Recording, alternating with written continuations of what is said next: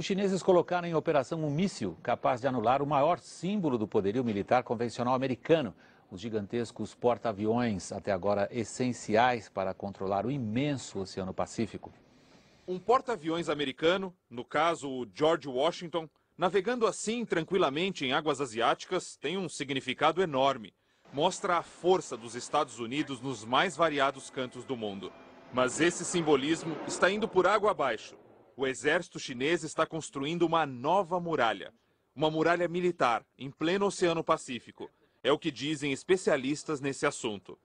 E ela tem como nome uma mistura de letras e números. DF-21D.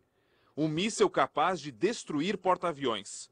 Lançado da Terra, vai para o espaço e de lá volta para atingir o alvo, que pode estar a até 1.500 quilômetros de distância.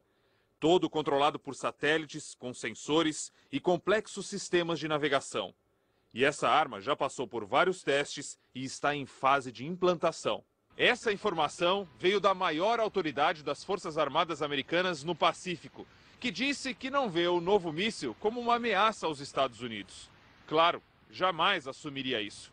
Mas todos sabem que uma arma capaz de afundar porta-aviões mexe com a disputa de forças e põe em risco o poderio americano na região. A nova arma força porta-aviões americanos a ficar longe das águas onde a China não quer vê-los.